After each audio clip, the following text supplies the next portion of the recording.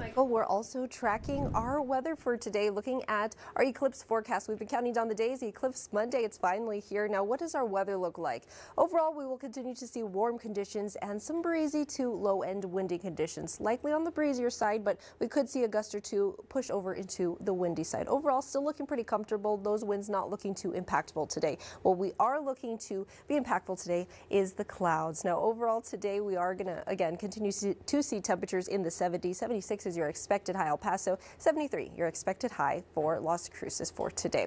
Now we're also looking at some light dust in the area. So of course when we have those breezy to low end windy conditions, we're also looking at some lingering dust. Now this future track dust tracker monitors between the hour of between the hours of 11 till about afternoon time, about 1 p.m. And that's during the peak hours of the eclipse. It's looking like it will be a little dusty. So temperatures are going to look warm during the eclipse hours, but you can see here we could see some hazy conditions. So if you're going to be outside enjoying the eclipse, make sure if you have any respiratory issues, you might want to wear a mask with you along with those solar eclipse glasses to keep yourself safe. So as we continue tracking the eclipse, of course, El Paso, we don't have 100% totality view here, but we're looking at about an 80 to 90% coverage.